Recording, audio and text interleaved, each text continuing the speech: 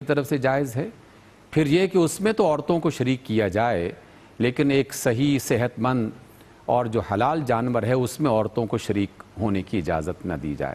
تو یہ مخلوق خدا پر ظلم جو ہے، یہ بھی جہاں جہاں اور جب جب کسی نے کیا، در حقیقت وہ راہ راست سے بھٹک گیا۔ تیسرا جو جرم جس میں خاص طور پر آج کی آیت میں جس کو بنیاد بنایا گیا اور اس کو واضح طور پر بیان کیا گیا ہے، وہ ہے اولاد کا قتل کرنا۔ اس کی ایک روایت نہیں مختلف قسم کی روایات ہیں کہ کبھی غیرت اور حمیت کے نام پر بیٹیوں کو یا تو زندہ دفن کر دیا جاتا یا پیدا ہونے کے بعد مار دیا جاتا یا جوانی کے بعد بھی بعض اوقات بچیوں کو قتل کر دینا اس طرح کے واقعات بھی ہمیں نظر آتے ہیں۔ ٹھیک۔ سیدنا عبداللہ ابن عباس کی روایت اور دیگر بھی روایات میں اس کا ذکر ملتا ہے کہ ایک صحابی تشریف لائے جنہیں ایمان قبول ہونے کا شرف تو مل گیا لیکن وہ اپنے دور جاہلیت کا وہ واقعہ جناب رسول اللہ صلی اللہ علیہ وسلم کو بیان کرتے ہیں کہ ہمارے ہاں بچی کی پیدائش ہوئی اور بچی انتہائی خوبصورت اور خوش شکل تھی۔ پہلے تو دل چاہا کہ اس کو قتل کر دوں لیکن بس کسی وجہ سے چھپ چھپا کر اس کو بچا رکھا۔ بچی بڑی ہو گئی جوان ہو گئی۔ اور اس کے جو اس کی جوانی کے بعد جب لوگوں نے اس کا ہاتھ طلب کیا، شادی کے لیے، نکاح کے لیے پیغام آنے شروع ہوئے، تو پھر وہی جاہلیت والا غیرت کا جذبہ بیدار ہو گیا۔ اور اسی حمیت کی بنیاد پر وہ شخص اپنی جوان بچی کو ایک ویرانے میں لے کے جاتا ہے، دھوکے اور فراڈ کے ذریعے سے۔ اور وہاں ایک کنویں میں دھکا دے کر اس کو قتل کر دیتا ہے۔ جناب رسول اللہ صلی اللہ علیہ وسلم اس کی اس پوری بات کو سنتے ہیں اور زار و قطار آپ کی آنکھ سے جو ہے وہ آنسو بہتے ہیں۔ آپ علیہ السلام نے فرمایا کہ اگر اللہ رب العزت نے مجھے اس بات کی اجازت دی ہوتی کہ دور جاہلیت کے کسی گناہ کی سزا میں دیتا تو میں تمہیں یقیناً اس جرم کی سزا دیتا۔ یعنی آپ علیہ السلام اس اس بات پر ایک تو رنجیدہ ہوئے اور دوسرا اس پر شدید غصے کا اظہار کیا۔ اور اس طرح کی اور بھی بہت ساری باتیں جو عربوں کے ہاں پائی جاتی تھیں۔ اور صرف عربوں کے ہاں نہیں چونکہ قرآن تو براہ راست پہلے عربوں کی طرف آیا۔ اس لیے ان کی داستانیں تفسیروں میں زیادہ مذکور ہیں، جبکہ اسی طرح کے واقعات دنیا بھر کی مختلف قوموں میں بھی پائے جاتے تھے اور پائے جاتے ہیں۔ عورتوں کو آگ میں جلا دینا، بچیوں کو کسی عزت کے مقام پر نہ رکھنا، انہیں مختلف قسم کی نعمتوں سے محروم کر دینا۔ اور قرآن مجید کی وہ آیت کی جس میں واضح طور پر اللہ رب العزت نے یہ ذکر کیا کہ غیرت کی بنیاد پر جو قتل کرنا ہے وہ تو ہے ہی۔ غلط اور لیکن اللہ نے تو یہاں تک فرما دیا کہ رزق کی تنگی کے خدشے کی بنیاد پر بھی اگر کوئی شخص اپنی اولاد کو قتل کرتا ہے تو در حقیقت یہ بھی ایک بڑے جرم کا ارتکاب ہے۔ کیونکہ نحنو نرزقہم و نحنو نرزقہم و اییا نرزقکم و ایاہم۔ دو مرتبہ الگ الگ پیرایوں میں استعمال کیا گیا۔ جب اللہ رازق ہے اور اللہ رب العزت نے اس رازق ہونے کے تصور کو کئی بار ہمارے سامنے پیش کیا تو مسلمان ہونے کے بعد مومن ہونے کے بعد یہ خیال اپنے دل میں لانا کہ رزق کم ہو جائے گا اگر دنیا میں جو ہے وہ آبادی زیادہ ہو جائے گی۔ حالانکہ یہ قطن کئی حوالوں سے جس حوالے سے بھی اس پر غور کیا جائے گا نتیجہ یہ نکلتا ہے کہ در حقیقت رزق کی کمی کا خدشہ جو اگر ہے تو وہ انسان کی اپنی غلط پلاننگ اپنے ظلم اپنی زیادتی اور اپنی بے اعتدالیوں کی بنیاد پر تو ہو سکتا ہے۔ لیکن اللہ تعالیٰ کے بنائے ہوئے قانون فطرت کو توڑنا اس سے قطن اس کا کوئی تعلق نہیں۔ سبحان اللہ اس لیے اللہ رب العزت نے فرمایا قد خسیرہ قد کا لفظ استعمال کر کے اس خسران کو اس نقصان کو اور اس خسارے کو یقینی طور پر پیش کیا کہ وہ لوگ یقینی طور پر خسارے میں پڑ گئے کہ جو سابقہ جو باتیں کہی گئی تھیں اور یہاں خاص طور پر جو قتل اولاد کا ذکر ہے اس جرم میں جو مبتلا ہیں جی۔ وہ خسارے میں پڑ گئے۔ بات کو آگے بڑھائیں گے جب انشاءاللہ جی کہ موجودہ دور میں بھی اسی طرح کی خرابیاں پائی جاتی میں ہیں۔ پڑ گئے مفتی صاحب وہ لوگ۔ اور انہوں نے کیا کیا کہ انہوں نے اپنی اولاد کو جہالت اور نادانی کی بنیاد پر قتل کیا۔ تو یہ اولاد کو کون قتل کرتا ہے؟ اولاد اللہ تعالیٰ کی نعمتوں میں سے بلکہ بڑی نعمتوں میں سے ایک نعمت۔ تو ایک آدمی وہاں تک پہنچ جائے کہ اپنی اولاد کو قتل کر دے۔ جہالت اور نادانی سے کیا مراد ہے یہاں پر؟ بغیر علم کی جو بات اللہ تعالیٰ فرما رہا ہے قرآن کریم میں۔ اور ذرا اس کا پس منظر بیان فرما دیجیے بسم اللہ الرحمن الرحیم۔ قتل انسان ولا تقتل النفس۔ جی جی۔ قرآن کریم صرف قتل انسانی کے ذکر پہ اکتفا نہیں کرتا۔ حالانکہ یہی کافی تھا لا تقتل النفس۔ کسی انسان کو قتل مت کرو۔ جی ہاں۔ انسان میں بچہ بھی آتا ہے۔ جی۔ یہی کافی تھا کہ مال حرام مت کھاؤ۔ ٹھیک۔ لیکن قرآن جب مال حرام کا ذکر کرتا ہے تو خصوصیت کے ساتھ یہ بھی بیان کرتا ہے کہ یتیموں کا مال مت کھاؤ جی ہاں۔ جو بے سہارا ہیں۔ قتل انسان کا جب ذکر کرتا ہے تو قرآن کریم خصوصیت کے ساتھ قتل اولاد کے مسئلے کو اللہ ضرور بیان کرتا ہے بلکہ قتل النفس قتل انسانی سے زیادہ اللہ تعالیٰ نے اولاد کے قتل کا ذکر تفصیل کے ساتھ قرآن میں بیان فرمایا ہے کہ قتل کیوں کرتے ہو اور کس بنیاد پہ کرتے ہو؟ ٹھیک۔ جیسے ولا تقتلوا اولادکم خشیت املاق جی ہاں۔ ٹھیک ہے؟ فقر و فاقے افلاس کے ڈر سے عار کے ڈر سے کبھی اپنی اولاد کا قتل مت کرو۔ آگے کیا فرمایا؟ نحن نرزقکم و ایاکم کہیں فرمایا نحن نرزقکم و ایاہم دیکھو روزی دینے والے ہم ہیں۔ جی ہاں۔ ہم تمہیں بھی روزی دیتے ہیں اور تمہاری جو اولاد ہیں ان کو بھی روزی دیتے ہیں۔ جی ہاں۔ قتل اولاد۔ اللہ تعالیٰ نے خصوصیت کے ساتھ اس لیے بیان فرمایا کیونکہ یہ جو ظلم ہے مختلف شکلوں میں ظلم موجود ہے اس کی شکلیں اور اس کے نام مختلف ہوتے رہے ہیں۔ جی ہاں۔ زمانے جاہلیت میں جاہلیہ اولا۔ زمانے جاہلیت میں جیسے قرآن کریم نے یہاں تین الفاظ کے ساتھ بیان فرمایا نک صاحب۔ جی۔ قتل اولاد قد خسرہ۔ یقینی طور پر یہ خسارے کا عمل ہے۔ اللہ خسارہ یہ جیسے ہم کہتے ہیں ایک میں فائدہ ہونا اور ایک میں نقصان ہونا۔ جی۔ اگر کسی مال کسی کے ساتھ میں معاملہ کروں اور اس میں مجھے فائدہ ہو تو میں میں کہوں گا ربح تو۔ جی۔ اور میں مال بیچوں اور اس میں مجھے نقصان ہو تو میں کہوں گا خسر تو۔ ٹھیک۔ تو مالی حوالے سے کاروباری حوالے سے نقصان اٹھانے والے کو نقصان اٹھانے کو خسارہ کہا جاتا ہے۔ یعنی یہ خلاصہ ہے انجام ہے۔ خلاصے انجام۔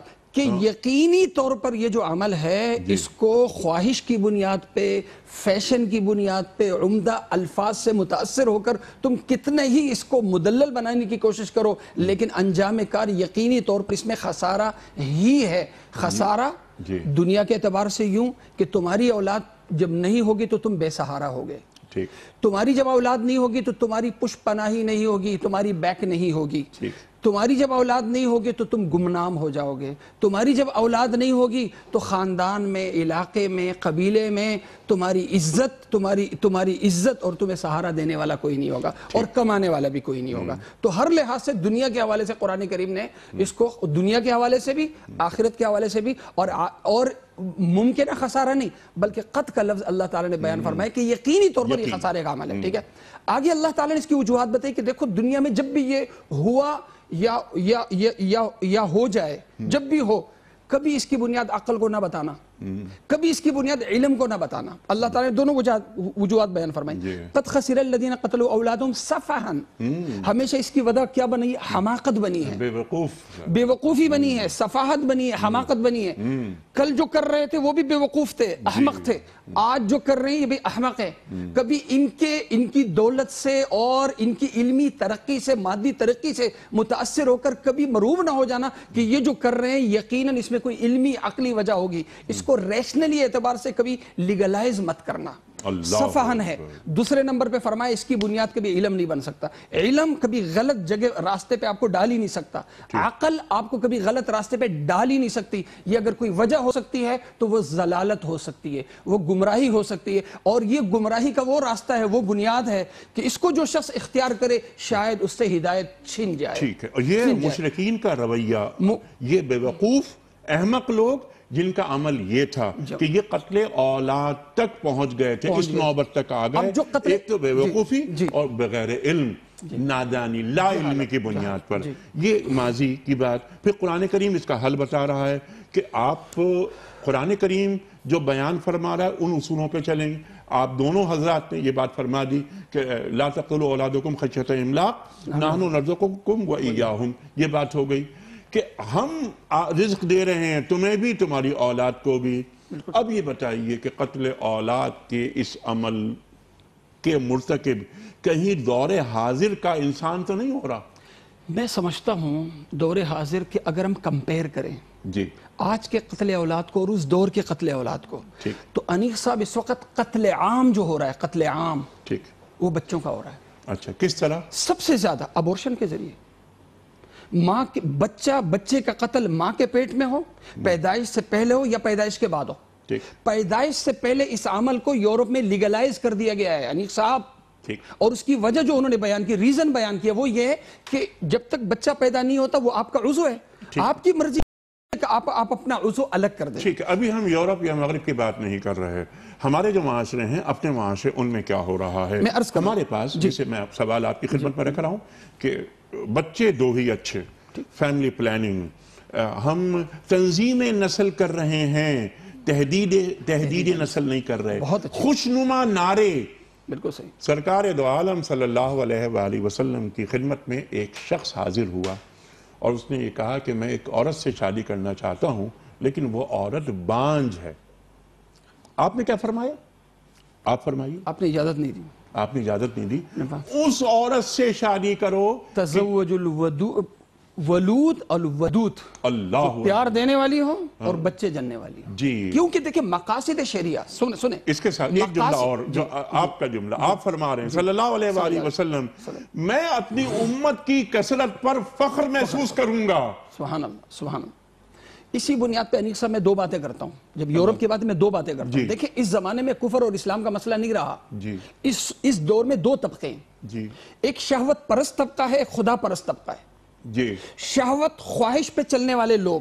جی۔ ٹھیک ہے؟ خواہش پہ چلنے والے لوگ آپ کو دور جاہلیت کی کی تازہ ان کو تازہ جو ہے وہ یاد ملیں گے ان کی یاد کو تازہ کرنے والے ملیں گے۔ تو شہورت شہو- شہوت پرست طبقہ جو ہے انہی لوگوں کا جو کل نعرہ تھا آج بھی انہی کا نعرہ ہے کہ بچے یا تو دو ہی اچھے یا بچے ہو ہی نہ۔ ٹھیک ہے نہیں مفتی۔ صاحب پھر آپ نے ان کی بات کی نا۔ جی۔ ہمارے پاس ہمارا میڈیا ہمارا مستقل میڈیا ہماری ہورڈنگز بالکل صحیح۔ لگی ہوئی ہیں نا۔ ہم فی الحال اپنے گھر کی بات کرتے ہیں۔ پاکستان کی بات کرتے ہیں۔ ہمارا گھر ہے نا پاکستان۔ اور ہم ہم سب کلمہ گو ہیں۔ ہم کوئی بھی ایسا کام نہیں کرنا چاہتے جو خلاف دین ہو۔ خلاف بالکل ہماری محبتوں کا مرکز قرآن کریم اور سرکار دو عالم صلی اللہ علیہ وآلہ وسلم کی سیرت۔ کیا اس طرح کی کیمپیننگ جو ہوتی ہے کیا دین کے کی روح کے خلاف نہیں ہے متصادم نہیں ہے متضاد نہیں ہے؟ کیا دین سے بغاوت نہیں ہے؟ کہ میں۔ کہوں کہ دو بچے ہی اچھے اور معاملات پیچھے پیچھے آئی وہ کذالک زین لکثیر من المشرکین جی۔ قتل اولادہم آج وہ تزیین کا عمل اس کو خوشنما بنانے کا عمل وہ تو شیطانی؟ کام ہے نا خوشنما بنانے کا عمل ہمارے میڈیا کے ذریعے ہو رہا ہے ٹھیک اس کو خوشنما بنانے کا عمل ہمارے لکھے پڑھے طبقے کے ذریعے سے ہو رہا ہے۔ خوشنما۔ آپ نے کہا نا بچے دو ہی اچھے آپ نے نام دیا نا۔ جی۔ اس کے پیچھے آپ بیک کر رہے ہیں الفاظ عمدے سے عمدہ لا رہے ہیں کہ اگلا آدمی متاثر ہو جائے۔ باقاعدہ اس کی اس کی کمپین چلائی جاتی ہے۔ یہ ہے تزیین برائی کو خوشنما بنا کے پیش کرنا۔ ایک ہے مدلل بنا کے پیش کرنا۔ جی۔ ایک ہے خوشنما بنا کے پیش کرنا۔ ٹھیک۔ تو خوشنما بنا کے جب پیش کیا جاتا ہے ہم ظاہر کو نہ دیکھیں چیز کی حقیقت کو دیکھیں انیق صاحب۔ چیز کی حقیقت کو دیکھیں کہ بچوں کا بچوں کی پیدائش میرے ملک میری قوم میرے خاندان کے فیور میں ہے یا اس کے نقصان میں؟ ٹھیک ہے۔ اچھا اسی بات کو آگے بڑھاتے ہیں۔ ڈاکٹر صاحب اب یہ ہم اپنے گھروں میں دیکھتے ہیں اپنے معاشروں میں دیکھتے ہیں اور آپ ہم سے زیادہ جانتے ہیں کہ آج بھی گھروں میں یہ باتیں ہوتی ہیں مختلف محفلوں میں یہ باتیں ہوتی ہیں کہ جناب والا کیا چھ بچے آٹھ بچے اور ہمارے جو والدین اور ہمارے جو اجداد انہوں نے ہر گھر میں چھ چھ آٹھ آٹھ دس دس بارہ بارہ بچے ہم دیکھتے ہیں۔ اللہ اکبر ہاں، میں اپنی بات عرض کروں، ہم چودہ بہن بھائی اور اللہ تعالیٰ نے ہمارے یعنی ہمارے والدین کو اتنے وسائل دیے کہ انہوں نے یہ چودہ بہن بھائی ہمارے پال لیے۔ تو کیا ایسا نہیں ہوتا کہ جب ہم اس قسم کی باتیں کرتے ہیں کہ یار دو ہی بچے اچھے ہیں، ہم ان کو اچھی طرح تربیت دے لیں، ان کی تعلیم اچھی ہو جائے، تو کیا ہم خود خدا بننے کی کوشش تو نہیں کر رہے ہوتے؟ انیق بھائی آپ کی اجازت سے اور میں جان کی امان پاتے ہوئے دو تین باتیں کہنا چاہوں گا۔ ارشاد سر سب سے پہلی بات تو یہ ہے کہ کوئی بھی شخص یا کوئی بھی قوم یا گروہ خدا بننے کا خیال بھی ذہن میں لائے گا تو تباہ و برباد ہو جائے جی ہاں۔ اس لیے پہلے تو اپنے دل سے اور اپنے ذہن سے اس خناس کو نکال دیا جائے کہ اس کائنات کو بنانے والا بھی اللہ ہے اور اس کو چلانے والا بھی اللہ ہے۔ جی۔ اور ایک بہت ہی عام سی بات میں دوستوں سے اور اپنے آپ سے بھی یاد دلانے کے لیے ذکر کرتا ہوں کہ ہمارے موجودہ دور میں ایک شخص اپنا چھوٹا سا گھر بنانا چاہے کارخانہ بنانا چاہے تو وہ دس سال کی پچاس سال کی بیس سال کی پلاننگ کرتا ہے۔ یہ کیسے ممکن ہو سکتا ہے کہ اللہ نے ایک دنیا بنانی ہو اور اس نے اس کی پلاننگ نہ کر رکھی ہو؟ اور اس کو پتہ ہی نہ چل رہا ہو کہ دنیا کی آبادی بڑھ جائے گی رزق کم ہو جائے گا۔ تو اس کے لیے بندوبست کیا ہونا چاہیے؟ اور اس کے لیے باقاعدہ اس نے حکم جاری نہ فرمائے ہوں۔ اس لیے پہلے تو اس تصور کو ذہن سے نکالنا چاہیے کہ خدا صرف وہی ہے اللہ صرف وہی ہے جس نے کائنات کو بنایا اور وہ چلا رہا ہے۔ دوسری بات کہ اللہ نے ہمیں عقل اور شعور جو دے رکھا ہے اس سے معاملات کو ہر پہلو سے دیکھنا چاہیے اور ہر پہلو سے اس پر غور کرنا چاہیے۔ جہاں تو اللہ رب العزت نے قتل کا لفظ استعمال کر کے ایک کام کو حرام قرار دے دیا تو وہ حرام ہے۔ لیکن قتل کے لفظ پر جب آپ غور کریں گے تو اس کی بنیادی وجہ یہ نظر آتی ہے کہ کوئی چیز موجود ہے اور اس کو بعد میں قتل کیا گیا۔ لیکن جو چیز ابھی موجود نہیں ہے اس کے لیے قتل کا لفظ استعمال نہیں کیا جا سکتا۔ جی ہاں۔ دوسری بات آپ نے ایک لفظ استعمال کیا تنظیم اولاد یا تنظیم خاندان۔ تنظیم اولاد اور تنظیم خاندان اس کو نہ اسلام منع کرتا ہے نہ قرآن منع کرتا ہے اچھے اور نہ ہی انسانی عقل اور شعور اس کو منع کرتی ہے۔ البتہ اس کے بارے میں جو ہمیں تعلیم دی جا رہی ہے اور جو اس پر پیسے اور بجٹ اور ایک بہت بڑی کمپین چلائی جا رہی ہے جی ہاں۔ وہ در حقیقت غلط ہے اور اس کے پیچھے جو شعور کام کر رہا ہے وہ شیطانی شعور ہے۔ تمام فقہا کا اس بات پر اتفاق ہے کہ اگر کسی گھر میں میاں بیوی کسی ایسی کیفیت میں ہے کہ ان کی اولاد ان کے لیے ایک مرض کے سبب سے یا میڈیکلی کسی پرابلم کی وجہ سے وہ ان کے لیے نقصان کا ذریعہ بن سکتے ہیں ہو گیا۔ تو اس استثناء کو استثناء ہی میں رکھنا چاہیے پہلی بات۔ جی ہاں۔ اس وجہ سے میں نے اس کا ذکر کیا کہ ہم جب ایکسٹریم میں پہنچتے ہیں وہ دائیں طرف ہو یا بائیں طرف تو بعض اوقات کسی چیز کو جائز کرتے ہوئے ہر چیز جائز قرار دے دیتے ہیں اور بعض اوقات ناجائز بناتے ہوئے ہر چیز کو ناجائز بنا دیتے ہیں۔ میرے خیال ہے کہ اس میں رویے کو تھوڑا سا معتدل ہونا چاہیے۔ تیسری بات اس میں یہ ہے کہ جب اللہ رب العزت نے قتل کے حوالے سے یہ دو ذکر کیے، نبی پاک صلی اللہ علیہ وسلم کی احادیث بتاتی ہیں کہ غیرت اور حمیت کی بنیاد پر قتل کرنا یا اس خدشے کی بنیاد پر قتل کرنا کہ رزق کم ہو جائے گا۔ مال کم ہو جائے گا۔ یہ دونوں اللہ رب العزت نے اس کی وجوہات کو جو ہے وہ ناجائز قرار دیا اور ناپسند فرمایا۔ جی۔ اور آپ بطور خاص جو بات کرتے ہیں اس کو ان تمام این جی اوز کے حوالے سے اور ایڈورٹائزنگ کمپنیوں کے حوالے سے یہ ضرور دیکھنا چاہیے کہ ہمارے ہاں اس خاندانی منصوبہ بندی کے حوالے سے ایک اشتہار چلا کرتا تھا کہ گندم کا ڈھیر ہے اور دوسری طرف آبادی دکھائی جاتی جو اس کو کھا رہی ہے، اور نتیجہ یہ بتایا جاتا کہ آبادی بڑھ جائے گی تو گندم کا ڈھیر کم ہو جائے گا۔ وہی قرآن کی آیت گویا کہ اس کی نفی عملی طور پر کرنے کی کوشش کی جا رہی ہے۔ اس وجہ سے اس تصور کو ختم کرتے ہوئے نظام خاندان کو بہتر بنانا اور جو بھی بچے اللہ رب العزت رزق کے طور پر دے رہا ہے، ان بچوں کی تعلیم، ان کی تربیت اور ان کے لیے بنیادی سہولتیں ان سب پر غور کیا جائے کہ کیا یہ صرف ماں باپ کی ذمہ داری ہے؟ کیا یہ صرف خاندان کی ذمہ داری ہے؟ کیا اس میں حکومتیں معاشرے افراد ادارے سب مل کر اس ملک اور اس اس بستی میں رہنے والے افراد کو پالنے پوسنے کے ذمہ دار نہیں ہیں؟ وسائل بڑھانے چاہیے۔ وسائل بڑھانے کے لیے اللہ رب العزت نے جو شعور اور عقل دے رکھا ہے کیا اس کو استعمال کرنا لازم نہیں ہے؟ اس وجہ سے ہمہ پہلو اس پر غور کرنا چاہیے اور پھر کوئی آ، کوئی بھی بات اختیار کرتے ہوئے اس کو اپنے لیے پسند کرنا چاہیے۔ ایسا نہیں کہ جو بنیادی کام ہے وہ نہ کیے جائیں اور محض اس بات کو شور مچاتے ہوئے لوگوں کے سامنے کہنا شروع کر دیا جائے کہ دیکھیے رزق کم ہو گیا ہے اور آبادی بڑھ گئی ہے۔ جی ہاں۔ میں نے اپنے دوستوں سے یہ ذکر کیا۔ ایک دفعہ اسی طرح کا ذکر ہو رہا تھا ایک مجلس میں اور ٹی وی کے ایک پروگرام میں کہ ہمارے ہاں ملک میں اپنے ملک کا جائزہ لے لیں۔ ہمارے ملک میں آبادی کے اعتبار سے سب سے کم آبادی والا جو صوبہ ہے وہ بلوچستان ہے۔ اور اگر اس کی ترقی اور اس میں تعلیم کا حال صحت کا حال اناج کا حال دیگر تمام چیزوں کا جو بنیادی سہولت ہے اس کے حوالے سے دیکھا جائے تو سب سے زیادہ پسماندہ صوبہ بھی وہی ہے۔ ٹھیک۔ تو کیا آبادی کی قلت اس کو بہتر بنا سکی؟ اور صوبہ پنجاب میں آبادی کی کثرت ہے لیکن کیا آبادی کی کثرت نے اسے غربت میں ڈالا ہے یا اپنی نالائقیاں اور نااہلیاں جو ہیں اس کو وہ غربت میں لے کے جا رہا ہے؟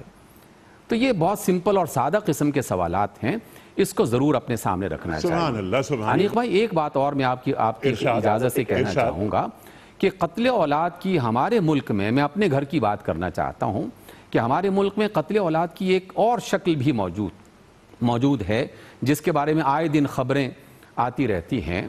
بہت سارے ایسے نادان اور جاہل اور مفاد پرست مذہبی اور غیر مذہبی افراد وہ باقاعدہ بچوں کو قتل کرواتے ہیں۔ اللہ اور مختلف قسم کے سبز باغ دکھاتے ہیں۔ کوئی مذہب کا نام لے کر کوئی سماج کا نام لے کر کوئی غیرت کا نام لے کر یا کوئی اور لالچ کا نام دے کر وہ بچوں کو باقاعدہ قتل کرواتے ہیں۔ اور وہ یہ کہتے ہیں کہ اس طریقے سے تمہاری یہ مراد پوری ہو جائے گی۔ اور ایک دوسری بڑی زیادتی جو خاص طور پر صوبہ پنجاب میں آپ کو دکھائی دے گی یہاں سینکڑوں کی تعداد میں ایسے نوجوان آپ کو مل جائیں گے کہ جن کے سر انتہائی چھوٹے اور جن کے بدن انتہائی بڑے۔ اور پورے پاکستان میں ایسے بے شمار افراد آپ کو مل جائیں گے کہ جن کو بچپن ہی میں ایک ایسے پروسیس میں ڈال دیا گیا کہ جن کی وجہ سے ان کی عقل نہ بڑھ سکی۔ ان کے سر پہ باقاعدہ لوہے کی ٹوپیاں پہنا دی جاتی ہیں اور یا ان کے جسم میں خوراک ایسی ڈالی جاتی ہے کہ جس کی وجہ سے عقل و شعور سے وہ عاری ہو جاتے ہیں اور وہ پھر لوگوں کے لیے آمدنی کا ایک ذریعہ بنتے ہیں۔ جی۔ کیا یہ قتل اولاد نہیں ہے؟ قتل اولاد کی ایک اور بھیانک شکل جو تعلیم سے محروم کرنے کی ہمارے ہاں پائی جاتی ہے کہ فلاں کو علم دینا ہے اور فلاں کو علم نہیں دینا۔ فلاں کو پڑھنے کی اجازت ہے اور فلاں کو پڑھنے کی اجازت نہیں ہے جی۔ یہ بھی قتل اولاد ہی کی ایک شکل ہے۔ اس لیے تمام پہلوؤں سے غور کیا جائے تو رزق کی کے کم ہونے کے خدشے کی بنیاد پر قتل کرنا غیرت کی بنیاد پر قتل کرنا مفاد کی بنیاد پر قتل کرنا کسی مذہبی نادانی اور جہالت کی بنیاد پر قتل کرنا یہ تمام قتل کی صورتیں جو ہیں یہ ناپسندیدہ ہیں اور اس خسارہ ہی خسارہ ہے۔ اس کے ساتھ ساتھ جو ڈاکٹر صاحب نے بات فرمائی مفتی صاحب بہت ساری باتیں ہو گئی لیکن آخری جو جملہ تھا آخری جو پوائنٹ تھا وہ بہت اہم ہے کہ اولاد کی صلاحیتوں کو قتل کر دینا انہیں جاہل رکھ کر۔ تو یہ بھی ایک بہت بڑا ظلم ہے جرم ہے جو ہمارے معاشروں میں جاری ہے۔ اور پھر ڈاکٹر صاحب نے ایک اشارتاً گفتگو کی کہ اس کو علم دینا اس کو علم نہیں دینا۔ یعنی اگر لڑکا ہے تو اسے علم دیا جائے، تعلیم دی جائے، درسگاہ بھجوایا جائے۔ لیکن اگر عورت ہے، بیٹی ہے، کیا کرنا ہے اسے؟ اس کی بڑی ہوگی، شادی ہوگی، کیا تا، کیوں تعلیم دی جا رہی ہے اور عورت کو نہ دی جائے؟ عورت اور مرد، لڑکا اور لڑکی، دونوں کو تعلیم دی جائے، ان کو جاہل رکھ کر ان کی صلاحیتوں کا قتل نہیں ہونا چاہیے۔ آپ کیا فرماتے ہیں؟ قرآن کریم میں یہاں جو لفظ آیا قتل اولاد کا آیا ہے ٹھیک ہے۔ اب قتل اولاد میں جیسے امام راغب رحم اللہ کے حوالے سے آپ نے بات فرمائی کہ کسی بھی حوالے سے ایک ہوتی ہے قتل ایک ہے قتل معنوی قتل۔ جی ہاں۔ ایک ہے ظاہری قتل جیسے حیات معنویہ اور حیات ظاہریہ۔ اسی لیے میں نے کہا صلاحیتوں کا قتل۔ ٹھیک ہے۔ تو حیات معنویہ جس طرح روحانی جی ہاں۔ ٹھیک ہے روحانی ترقی کو روکنا صلاحیت کے سامنے رکاوٹ بننا ٹھیک ہے رکاوٹیں کھڑی کرنا یہ باطن کا قتل ہے صلاحیتوں کا قتل ہے ٹھیک ہے دین اس کی بھی اجازت نہیں دیتا ٹھیک ہے دین اس کی بھی اجازت نہیں دیتا۔ آپ ایک شخص کے ظاہر کو ختم کریں دین اس کی بھی اجازت نہیں دیتا۔ لیکن یہاں جو لفظ آیا ہے انیس صاحب معذرت کے ساتھ۔ ارشاد۔ ڈاکٹر صاحب نے بہت ہی اچھی بات کی طرف اشارہ فرمایا کہ قتل کی طرف قتل اولاد۔ لہٰذا قتل کے لیے ضروری ہے کہ سامنے والا جس کو مارا جا رہا ہے اس کے اندر جان ہو۔ لہذا اگر ایک کسی میں جان نہیں ہے اسے اگر مارا جائے گا اسے اگر مارا جائے گا تو وہ قتل نہیں ہوگا بلکہ منع ہوگا۔ تو منع اولاد الگ چیز ہے۔ قتل اولاد الگ چیز ہے۔ لیکن منع اولاد اگر بلا وجہ ہو تو انجام کار وہ بھی قتل ہو جاتا ہے۔ لیکن اگر اس کے لیے وجہ موجود ہو ڈاکٹر نے منع کیا ہے کہ اس وقت ماں کی جو صلاحیت ہے وہ اس کی اجازت نہیں دیتی۔ ماں کی صحت۔ اجازت نہیں جی، دیتی۔ جی۔ فلاں۔ اس کو ہم تعبیر کرتے ہیں ضبط ولادت سے۔ جی ہاں، بالکل ٹھیک ہے؟ ایک تحدید اولاد ہے اور ایک تنظیم اولاد ہے۔ تنظیم اولاد سے دین منع نہیں کرتا۔ تاکہ اعتدال رہے۔ آپ اعتدال رکھیں۔ تحدید ولادت غلط۔ لیکن تنظیم پہ آئے تو ٹھیک۔ ایک منظم خاندان وجود میں آئے جو ہر لحاظ سے ظاہری اور باطنی ہر لحاظ سے وہ صحت مند خاندان ہو۔ دین اس کی حوصلہ افزائی کرتا ہے۔ اور قد خسرہ قد خسرہ کا لفظ جو قتل اولاد ہے اس میں قتل میں قتل معنوی اور قتل ظاہری دونوں کو ہم مراد لے سکتے ہیں۔ بالکل ٹھیک ہے۔ اچھا ایک بات کیونکہ میں چاہتا ہوں اس پر بھی آپ کی گفتگو ہو جائے آپ کی رائے آ جائے۔ عورت اور مرد دونوں کی صلاحیتوں کو قتل نہیں کرنا چاہیے۔ دونوں کو تعلیم حاصل کرنے کے یکساں مواقع فراہم کرنے چاہیے یہ والدین کی ذمہ داری ہے اولین۔ اولی ذمہ داری بلکہ میں اس سے آگے بڑھ کے ایک اور بات عرض کروں گا انیق صاحب۔ انیق صاحب بنیاد نسل کی بنیاد۔ جی۔ اصل نسل۔ اصل نسل مرد نہیں ہے۔ قرآن اصل نسل ماں کو بتاتا ہے۔ بہت اچھے ام کا لفظ باپ کے لیے استعمال نہیں ہوا۔ باپ تو رکھوالا ہے۔ اصل جو ام انسانیت ہے نا ام ام اولاد۔ ماں سے بنتی ہے اولاد اولاد سے بنتی ہے خاندان خاندان سے بنتا ہے آگے قوم ٹھیک ہے؟ یہ جو پہلا مدرسہ ہے بچے کا پہلا مدرسہ یہ جیسے ہوگا اسی طرح بچہ ہوگا ٹھیک۔ ہے؟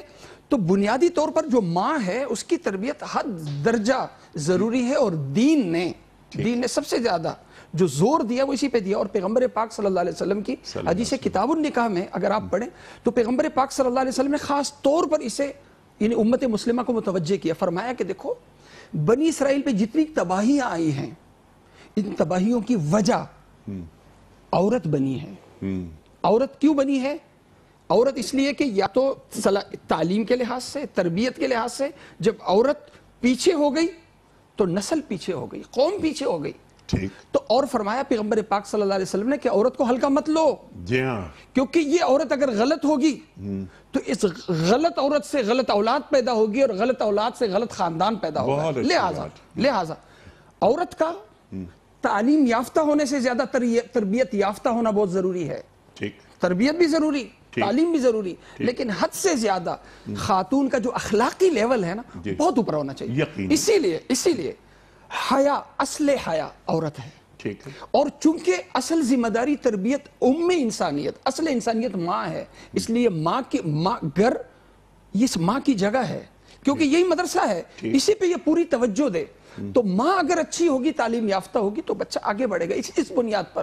آج کا جو سب سے بڑا مسئلہ ہے انیق صاحب وہ کیا ہے؟ خاتون کا خواتین کا تعلیم میں تربیت میں پیچھے ہونا۔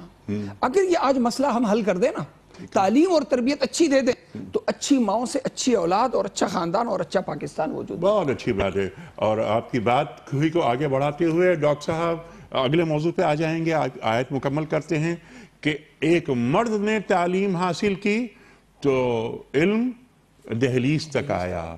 اور ایک خاتون نے تعلیم حاصل کی تو علم نسلوں تک منتقل ہو گیا۔ تو عورت ہو یا مرد، بیٹا ہو یا بیٹی دونوں کو تعلیم حاصل کرنے کے یکساں مواقع والدین پہ ضروری ہے کہ انہیں فراہم کریں۔ اگلا اب جو موضوع یہاں سے شروع ہو رہا ہے، وَحَرَّمُوا مَا رَزَقَهُمُ اللَّهُ لَا افْتِرَانَ عَلَى اللَّهِ۔ انہوں نے اللہ تعالی مشرقین نے اللہ تعالی کی نعمتوں کو جو رزق کی شکل میں تھیں، خود پر حرام کر لیا اور منسوب اللہ سے کر دیا۔ گناہ کے اوپر گناہ۔ ارشاد ڈاکٹر صاحب جی بالکل یہ اسی بات کو دہرایا گیا ہے جو سابقہ آیات میں بھی آئی اور آپ نے بھی اس کا ذکر کیا اور ہم نے اشارتاً اس سے پہلے آ، اس کا ذکر کر چکے ہیں۔ دیکھیے اللہ رب العزت نے جس کام کو جس جس چیز کو حلال قرار دے دیا ہے وہ کام بھی حلال ہے جائز ہے اور وہ چیز بھی حلال اور جائز ہے۔ اور جن کے لیے جائز قرار دیا ہے وہ سب کے لیے جائز ہوگا۔ نہ ان اشیاء میں سے کسی کو اپنی مرضی سے حرام قرار دے دیا جائے اور نہ ہی ان مشرقین اور جاہل افراد کی طرح کچھ لوگوں پر حلال کر دیا جائے اور کچھ لوگوں پر اس کو حرام قرار دے دیا جائے۔ ٹھیک اس وجہ سے پہلا علم اور جو اس میں بہت زیادہ دقت نہیں اٹھانا پڑتی اور اہل ایمان اللہ کا شکر ہے کہ غالب اکثریت مسلمانوں کی یہ جانتی ہے کہ اللہ رب العزت نے کون کون سی چیزیں حلال کی ہیں اور کون کون سی چیزیں حرام قرار دی ہیں۔ لیکن بعض اوقات کچھ نادان اور جاہل بالکل اسی طرح جیسے ہر دور میں پائے جاتے رہے ہیں کیونکہ قرآن صرف سابقہ کہانی نہیں بناتا اور بتاتا بلکہ آج کی بھی نسل کو وہ بات سمجھاتا ہے کہ جب تک انسان دنیا میں ہیں اس طرح کی جاہلی روایات آتی رہیں گی اور یہ سائیکل مسلسل چلتا رہے گا۔ اس وجہ سے تم لوگ بھی اچھے طریقے سے ہوشیار رہنا کہ اسی طرح کی کوئی بات اسی طرح کا کوئی رویہ تازہ نہ کر دیا جائے۔ ٹھیک۔ آپ نے بھی ذکر کیا کہ وہ لوگ کسی جانور کا بچہ کبھی حرام کر دیتے کبھی حلال کر دیتے کبھی کسی پر حرام کر دیتے کبھی کسی پر حلال کر دیتے۔ اسی طرح کی صورتحال بعض اوقات ہم بھی اختیار کر لیتے ہیں کہ فلاں بندہ فلاں دن گوشت نہ کھائے۔ جی ہاں۔ فلاں بندہ فلاں دن سبزی نہ کھائے۔ اگر گوشت جو ہے وہ کالے بکرے کا ہے تو وہ تو صدقے میں استعمال کیا جائے اور اگر وہ کسی اور رنگ کا ہے تو اختیار نہ کیا جائے یا اس کی تحدید کسی بھی حوالے سے کر دی جائے، اس کے لیے جگہ کا تعین کر کے، وقت کا تعین کر کے، شکل کا تعین کر کے اور کسی کو جائز اور کسی کو ناجائز بنا دینا، یہ اسی طرح کا رویہ ہے جو سابقہ دور میں پایا جاتا تھا اور آج کے دور میں ہندو مذہب میں اور ان کی رسومات میں کچھ اسی طرح کی چیزیں پائی جاتی ہیں۔ اگر کوئی شخص اس کو آج کے دور میں اختیار کرتا ہے، تو یقیناً وہ اسی غلطی کا ارتکاب کر رہا ہے۔ کھانے پینے کی چیزیں جو جائز ہیں، وہ ہمیشہ جائز رہیں گی۔ اور جو ناجائز اور حرام ہیں، وہ ہمیشہ حرام رہیں گی۔ سوائے اس کے کہ طبی نقطہ نظر سے کوئی احتیاط ہو تو وہ حرام اور حلال کے زمرے میں نہیں آئے گا۔ وہ صرف اپنے استعمال اور نہ استعمال کرنے کے حوالے سے احتیاط کے زمرے میں آئے گا۔ اس وجہ سے آج کی دنیا میں ہمیں یہ علم حاصل کرنا چاہیے۔ اور اس کے لیے کتنی آسان بات ہے کہ ہمیں صرف حرام چیزوں کا پتہ چل جائے تو جو حرام نہیں ہیں وہ سب کی سب حلال ہیں۔ تو یہ ایک اتنی آسان بات اور اتنا اچھا بڑا دائرہ ہمیں عطا کر دیا گیا۔ تاکہ لوگوں کے لیے آسانی بھی رہے اور ان کے لیے سہولت بھی رہے۔ تو حرام چیزوں حرام کاموں حرام باتوں کے بارے میں جان لیجیے اور اپنی زندگی کو سہولت سے گزاریے۔ سبحان اللہ سبحان اللہ۔ ایک بات یہ بالکل واضح ہو گئی کہ حرام اور حل بالکل واضح ہو گئی اور ایک جو نقطہ اور اصول کی بات کہ حرام اور حلال کرائین اللہ اور اللہ کے رسول صلی اللہ علیہ وآلہ وسلم فرمائیں گے عقل انسانی نہیں کرے گی۔ یہ حق صرف اللہ اور اللہ کے رسول کا ہے کسی چیز کو حرام یا حلال قرار دینے ٹھیک ہے ایک بات تو بالکل، یہ اصول اور یہ جو بنیاد ہے، یہ اس پر سب کا ایمان ہے ہمارا۔ ڈاکٹر صاحب نے جو بات فرمائی، اس کو ذرا ہم آگے بڑھاتے ہیں۔ خواہشات کی بنیاد پر کوئی مجبوری نہیں ہے کہ نہیں صاحب، میں نے گوشت کھانا چھوڑ دیا ہے، میں گوشت نہیں کھا رہا۔ کیا کوئی وجہ ڈاکٹر نے منع کیا ہے؟ کوئی مسئلہ ہے؟ نہیں نہیں، میری میری مرضی ہے یہ۔ میں نہیں۔ میں نے کوئی اپنے اوپر ایک پابندی خود عائد کر دی خود ساختہ پابندی۔ کیا اس کی اجازت دین دیتا ہے؟ دیکھیں ایک جائز کو استعمال نہ کرنا ہاں۔ ٹھیک ہے؟ جائز کو ایک جائز عمل ہے میں استعمال نہیں کر رہا میری جی۔ مرضی۔ لیکن اس جائز چیز کے استعمال نہ کرنے کی وجہ میں دینداری کو بتاؤں اعلیٰ قسم کی دینداری کو بتاؤں۔ اعلیٰ قسم کے تقوی کو بتاؤں اور اس کو میں اپنی شان بنا کے ظاہر کروں جی۔ تو یہ غلط ہو جائے گا۔ ٹھیک ہے؟ اس میں انیک صاحب خاص طور پر دو باتیں جو ہے اس آیت میں جو نچوڑ ہے نا ساری باتوں کا۔ دیکھیں خالق اللہ ہے۔ ٹھیک۔ اللہ کی تخلیق میں رکاوٹ مت بنو قتل اولاد کا ذکر فرماؤ۔ رب اللہ ہے۔ اللہ کی ربوبیت کے راستے میں تحریم حلال اور تحلیل حرام کر کے رکاوٹ مت بنو۔ رب کی ربوبیت کے راستے میں رکاوٹ مت بنو۔ خالق کی تخلیق کے راستے میں رکاوٹ مت بنو۔ یہ خلاصہ ہے یہ جو پیچھے چل رہا ہے نا ایک سو تیس سے۔ ایک سو تیس سے۔ سب کا خلاصہ ہی۔ بحیثیت مسلمان میں اللہ کو خالق مانتا ہوں نا تو اللہ کی تخلیق کے آگے میں روڑے نہ اٹکاؤں۔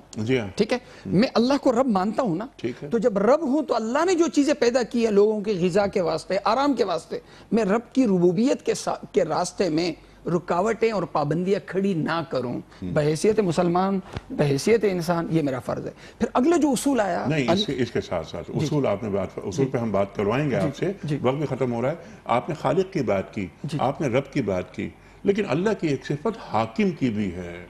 تو اللہ نے حکم دے دیا۔ وہی حلال اور حرام کے تعلق سے۔ اور ڈاکٹر صاحب نے بالکل واضح کر دی بات یہ۔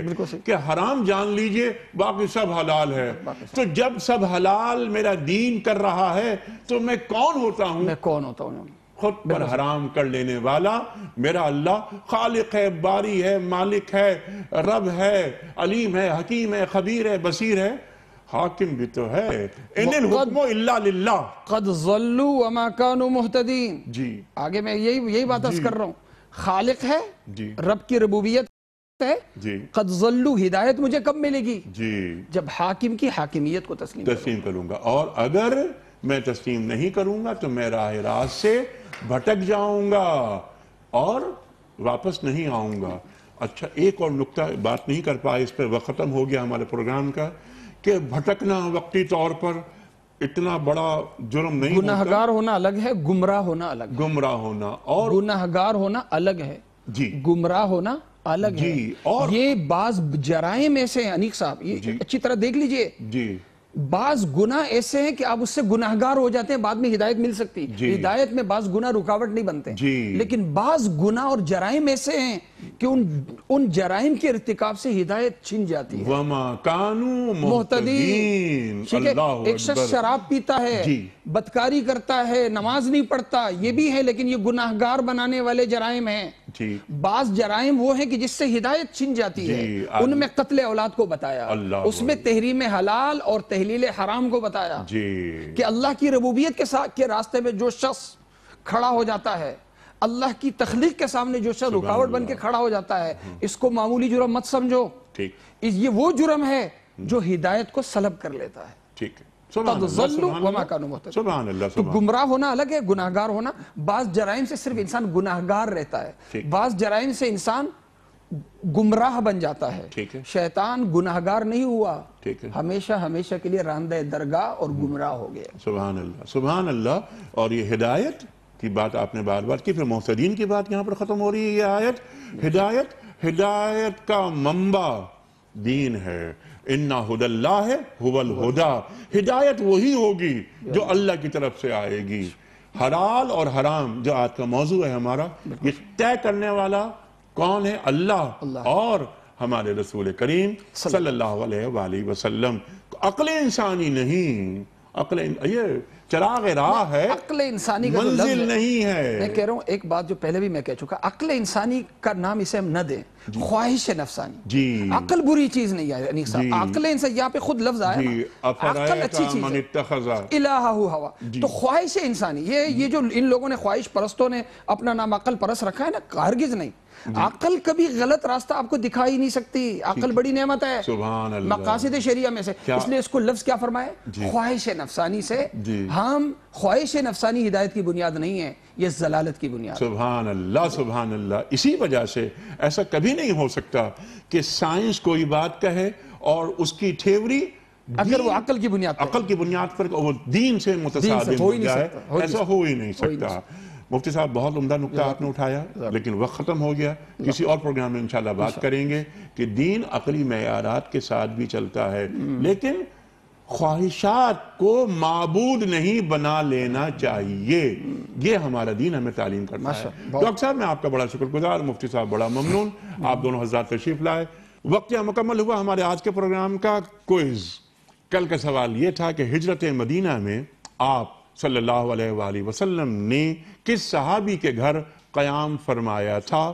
درست جواب حضرت ابو ایوب انصاری رضی اللہ تعالی عنہ۔ آج کا سوال نوٹ فرما لیجیے، قرآن کریم کی کس صورت میں ذکر ہے کہ جہنم کی آگ دلوں تک پہنچ جائے گی؟ سورہ حمزہ یا سورہ لہب یا سورہ فرقان؟ جو درست جواب آپ سمجھتے ہوں، روانہ فرمائیے، ہمارے فون نمبرز ہیں 009221343009880 ہمارا دوسرا فون نمبر ہے zero zero nine double two one, three four five two seven double zero nine. ہمارا ای میل ایڈریس ہے P S at Dunya T V dot T V. ہمارا ایس ایم ایس کا نمبر three zero three one. اور محترم ناظرین، یہ وقت ہے قرآن دازی کا۔ کل جو کوئی اس کا سوال ہم رکھا تھا آپ کی خدمت میں، جن افراد نے درست جوابات روانہ فرمائے، ان کے مابین قرآن دازی اور مفتی نذیر احمد صاحب ایک پرچی نکال کر اعلان فرمائیں گے۔ کہ دینی کتب پر مشتمل گفٹ ہیمپر ہم کس کی خدمت میں روانہ کر رہے ہیں؟ محمد افتخار صاحب ملتان۔ محمد افتخار صاحب ملتان سے ہم آپ کی خدمت میں دینی کتب پر مشتمل تحفہ پیش کرتے ہوئے افتخار محسوس کرتے ہیں۔ آپ کو بہت مبارک ہو۔ اختتام ہوتا ہے پیام سب کا۔ روزانہ آج کی بات پر اور آج کی بات میں قول ہوتا ہے۔ صاحب نہج البلاغہ امیر المومنین حضرت علی مرتضی کرم اللہ وجہ کا۔ آپ فرماتے ہیں، جو شخص حق کے ذریعے عزت پاتا ہے، وہ رسوا نہیں ہوتا۔ جو شخص حق کے ذریعے عزت پاتا ہے، وہ رسوا نہیں ہوتا۔ سبحان اللہ سبحان اللہ۔ کل تک کے لیے اپنے میزبان علی احمد کو اجازت دیجیے خدا حافظ۔